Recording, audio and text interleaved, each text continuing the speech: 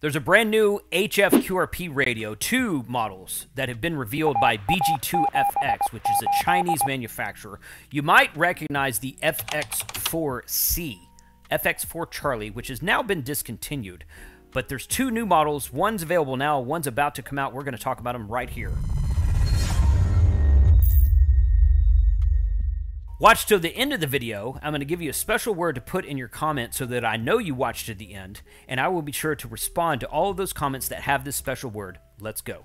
BG2FX.com is a Chinese radio manufacturer, and he started making uh, the smaller QRP radio, which is a 10 watt radio, the FX 4C.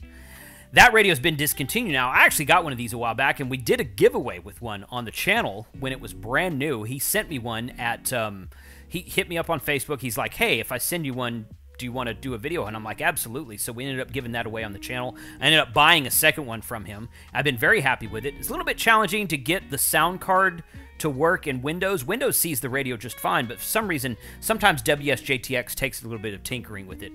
But I've been pretty happy. It's small, it's lightweight, it's compact, it's got a beautiful screen on it. So I suspect that all of these these brand these two brand new models that we're about to talk about probably have the same thing. So let's check both of these out right now. Over here at bg2fx.com, we see the three models that he's got here, and the FX4C, the one on the right, you can if you mouse over it, it shows to be discontinued. This is the model that I have right here. If you go here to the downloads link at the top of this page and scroll down to this manual. This user manual, this English user manual, was actually written by Adam K6RK.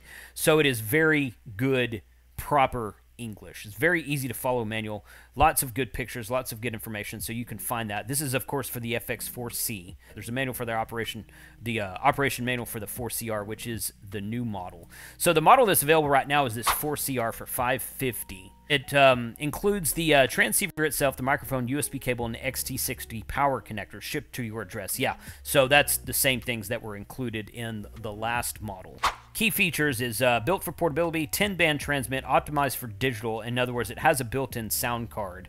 Simple digital operation with Bluetooth or USB. Okay, Bluetooth is new. My radio, my FX4C, the original model, does not have Bluetooth. So that's that's pretty cool that you can Bluetooth it to a computer and use that. I wonder if you could use that with like an Android tablet. That'd be something to test out. It's a uh, new SDR developed by BG2FX. That's the gentleman's call sign in China who developed it. It covers all of the major HF bands, including wideband receive capabilities, small one pound built-in speaker microphone, uh, speaker mic that allows for ultra portable operation, built-in USB sound card interface, cables, simple operation for digital modes. There you go. Input voltage is 9 to 18 volts, so you can directly plug in. In fact, that's how I've done mine in the past. I just plug it directly into Bi Bioenno, 12, 13 volts, and it's good to go. 2-inch TFT screen. These screens are beautiful on this thing, honestly. Dual VFO, A and B, built-in Bluetooth. That's new. For this model, that's new. And this model advertises a 15 to 20 watt. If you go here to the main page, it says right here, it says 80, 60. Okay, so it includes 60 meters. That's pretty fun. 80, 60, 40, 30, 20, 17, 15, 12, and 10. And 6 meter transmit and receive. 15 to 20 watts transmit on HF and 5 watts on 6 meters. Built in sound card, 48 kilohertz Spectrum waterfall display, high quality machined aluminum case. I was very happy with the display and the case on the previous model, so I have no doubt that this new model will be just as good, if not a little bit improved. The L model, the one that's not available quite yet, looks like it's still all the same bands. It includes 60 and 30 meters, it includes 6 meters, but is 5 watt transmit on all bands. Built in sound card, no Bluetooth, as you can see. Lightweight, and they say available soon. So, and of course, the discontinued one, that's the one that I have right there. I've had it for a year or so, year or two, something like that. I always thought it'd be fun to take that thing out to POTA and just set up FT8 with it and do some QRP FT8 it like because that one's 10 watts. So this L model, he's he's downgraded a bit to a 5 watt model, kind of neat looking. Production is in work. Pre-orders have closed, so he's already done pre-orders on that one. This one he did pre-orders on, and he says that all of those have shipped, and now they're available for order. I, it's possible I've clicked to order that, and I've already have one on its way to me. I'm not going to disclose that information because that's not something I like to talk about. so how many of you have heard of this radio? What do you think about its small and compact size?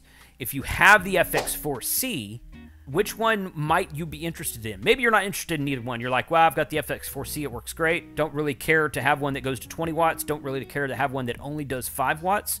Don't care about Bluetooth. Okay, that's fair.